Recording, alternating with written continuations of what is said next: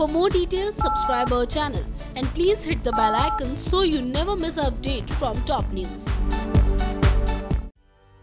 Star Bharat के most popular show serial Nimki Vidhayak में निमकी है काफ़ी परेशान दरअसल गंगा देवी के हार जाने के बाद होता कुछ यूँ है कि निमकी गंगा देवी से मिलने उनके घर जाती है और घर से बाहर निकलते वक्त गंगा देवी के बेटे से टकरा जाती है जिसके बाद गंगा देवी के बेटे निमकी को खरी खोटी सुनाते हैं और निमकी को धोखेबाज कह देते हैं।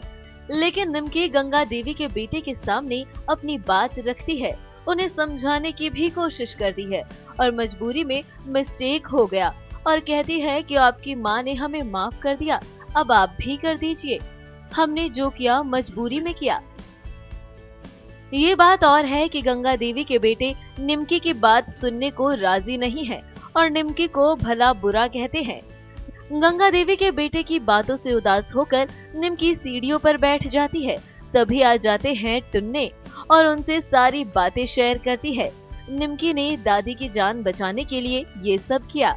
वेल, टुन्ने और निमकी काफ़ी वक्त बाद सीढ़ियों पर एक साथ बैठे नज़र आएँगे और उनकी कई सारी पुरानी यादें भी ताज़ा हो जाएँगी।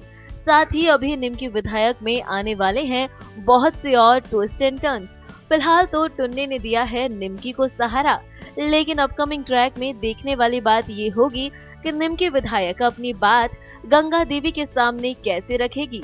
सीरियल निमकी विधायक के लेटेस्ट अपडेट के लिए आप हमारे चैनल को सब्सक्राइब करें और हमसे जुड़े रहें। For more details, subscribe our channel and please hit the bell icon so you never miss an update from top news.